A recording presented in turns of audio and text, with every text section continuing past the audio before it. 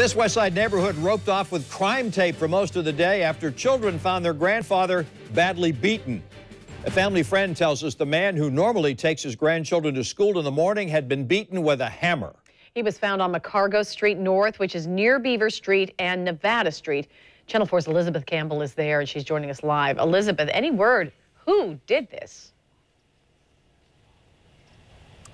Mary and Tom, unfortunately, police have not released any person of interest in this case, but people who know this man say they are praying that JSO is able to figure out who is responsible. Now, police just left the scene about 30 minutes ago, but they were here for more than eight hours. And the focus of today's crime scene is right behind me. This is the Brunson Inn, and loved ones of this gentleman tell me that he owned a bar inside, has been here for the past at least 30 years and that he spends, spends the majority of his time here. They say what happened to him he did not deserve at all.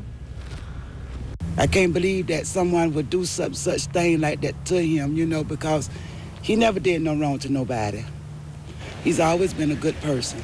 Lahoma Davis says she's a family friend of the man police found badly injured this morning off McCargo Street North on the west side of Jacksonville. She says he's 86 years old and believes he was at a community club right by his home when she says he was beaten with a hammer. Davis says he has two daughters and his grandchildren were the ones who found him this morning. Davis is sad, saying he's a good person, and she hopes police can figure out who's responsible.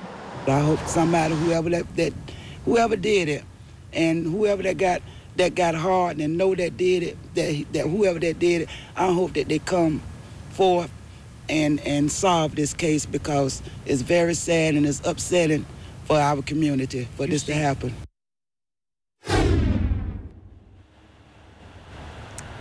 And today I've probably talked to at least 10 people who said they knew him very well, that he was a very great man. And I just spoke with somebody about five minutes ago who said that they heard that he is not doing very well in the hospital. But of course, they are all wishing for the best. If we hear anything on his condition or who's responsible for doing this, we will, of course, update you on air and on news4jax.com.